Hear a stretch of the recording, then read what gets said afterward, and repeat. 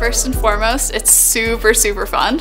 Like you get to experience a lot of amazing things that you wouldn't otherwise. While also being fun, it also teaches you to be responsible. Traveling for me has really broadened my spectrum and given me this open-mindedness which has given me motivation to actually want to learn different things that I wouldn't normally.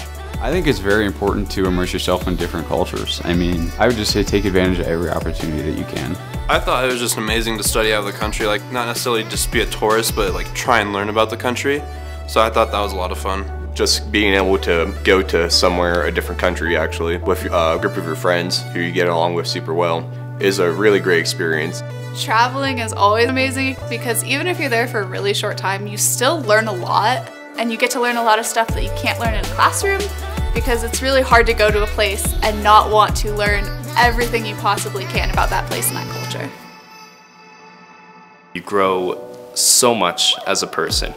You break out of your shell because you're going in an unknown environment, possibly without your parents for the first time ever.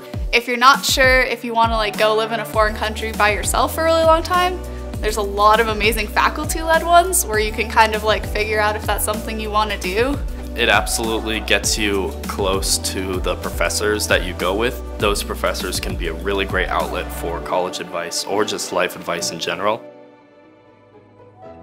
The study abroad program is amazing here. It's probably one of the best in the country. Crazy to see that everyone kind of has like an opportunity no matter their field. Like if they want to go for studying Vikings in Iceland, we have that opportunity. If you want to go study monsters in Greece, you have that opportunity. Or you want to go study in Fiji, Australia, just like really cool to know that we have all those opportunities.